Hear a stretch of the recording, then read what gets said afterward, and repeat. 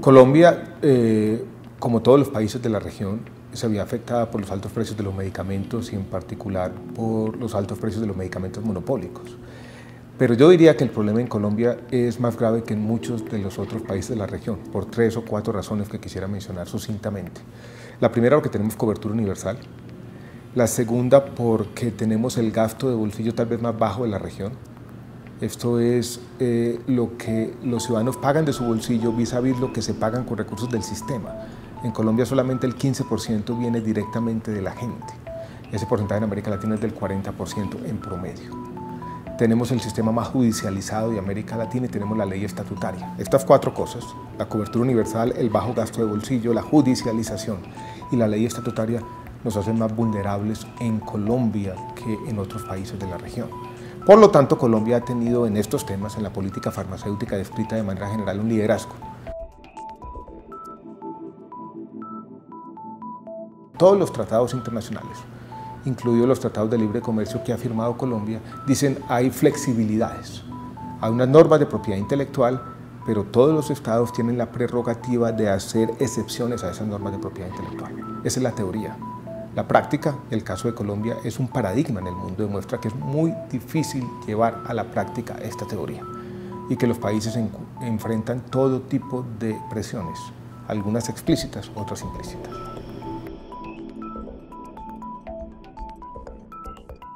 Eh, con los altos precios, eh, precios que no siempre son fijados de manera transparente y sobre todo los altos precios de los nuevos medicamentos, los que son incorporados al sistema y que son pagados directamente con recursos públicos por lo que en Colombia se conoce como el sistema de recobros.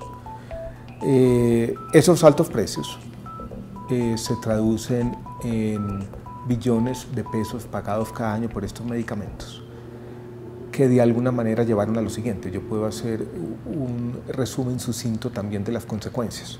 Nosotros teníamos un ahorro de la sociedad en el Fondo Público de la Salud en Colombia, que se conoce como el FOSIGA, de 10 billones de pesos. Como consecuencia, en buena medida, de los precios de los altos medicamentos monopólicos, ese ahorro de la sociedad, ese excedente, desapareció. Hoy en día tenemos un defecto patrimonial de las compañías aseguradoras en Colombia que está entre los 5 y 6 billones de pesos. Esto es, no solo desapareció el ahorro, sino que se extinguieron los patrimonios de las compañías aseguradoras.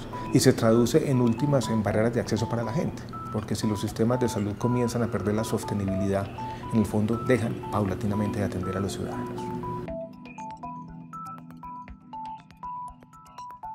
Nosotros tenemos en Colombia 140 mil fallos judiciales al año. Eh, muchos de ellos tienen que ver con medicamentos tenemos un problema emergente, por ejemplo, medicamentos que no tienen registro sanitario, que son vitales no disponibles, donde hay una presión de la industria farmacéutica para que se incorporen de manera desordenada. Ya estamos pagando por vitales no disponibles un valor significativo entre 200 y 300 mil millones de pesos al año. Yo creo, y lo he dicho en todos los escenarios, que muchas veces la industria farmacéutica tiene una percepción o una mirada a este tipo de disyuntivas como si fuera un mercado. Esto no es un mercado este es un sistema complejo de compras públicas. Lo que estamos hablando es de cómo la sociedad va a invertir mejor unos recursos que son escasos. Primero, la política de regulación de precios. Nosotros eh, regulamos algo así como 800 principios activos. El efecto estático, sin tener en cuenta cómo la industria reaccionó a la regulación, nos muestra que nos pudimos haber ahorrado algo así como un billón de pesos.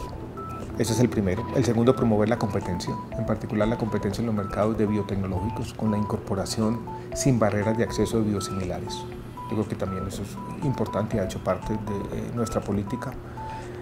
El tercero, que está en proceso de implementación o puesta en práctica, es fortalecer la puerta de entrada.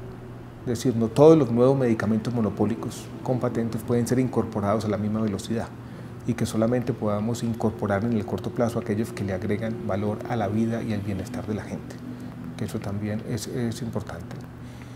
Y el cuarto es un conjunto de medidas que apuntan también a la transparencia y el uso racional.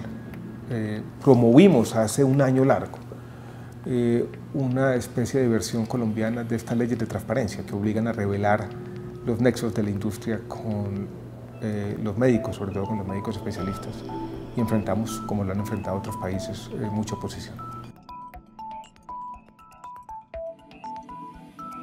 Yo creo que se logró eliminar los excesos más grandes que teníamos, porque en, en algún momento, dado los incentivos que estaban de alguna manera inmersos en la forma como nosotros pagábamos por esos medicamentos, la industria farmacéutica eh, puso cualquier precio. Y Colombia estaba pagando en muchas moléculas, sobre todo monopólicas, los precios más altos de la región. ¿Cómo cuáles? Eh, tengo una lista grande, pero uno podría eh, escoger en medicamentos de enfermedades crónicas no transmisibles, en particular oncológicos, artritis reumatoidea, esclerosis múltiple y en general ese tipo de patologías pagando precios muy altos, los más altos de la región. Eh, eso hoy en día ya no es así y yo creo que hay un avance importante. O sea, pudimos frenar esos abusos, tener una regulación de precios basada en referenciación de precio internacional, que hoy en día para los medicamentos más recobrados, los que pagamos con recursos públicos, ya tenemos precios razonables. Lo que hacemos es que escogemos una lista de 17 países, referenciamos los precios existentes en nuestro país y nos cercioramos que el precio que nos están cobrando esté entre el cuarto y quinto precio más barato en esa lista. Eso se logró. No, yo creo que Colombia tiene un incidente histórico eh, que comienza por allá en el año 2007-2008, que tiene como detonador una sentencia de la Corte Constitucional, que es la sentencia TG-360 del año 2008, que de alguna manera le abrió las puertas al país y creó un sistema, que es el sistema de recobros, en los cuales el país dijo, transmitió esta idea de que iba a pagar todo a cualquier precio. Esa mayor generosidad que vino desde la Corte Constitucional del sistema colombiano llevó a todo tipo de abusos y la industria farmacéutica en muchos medicamentos cobró precios muy por encima de lo razonable y lo que cobraba en otros países. Eso llevó en su conjunto eh, esa crisis de los recobros a, podríamos decirlo, sin muchos ambajes, a la quiebra del sistema de salud en Colombia.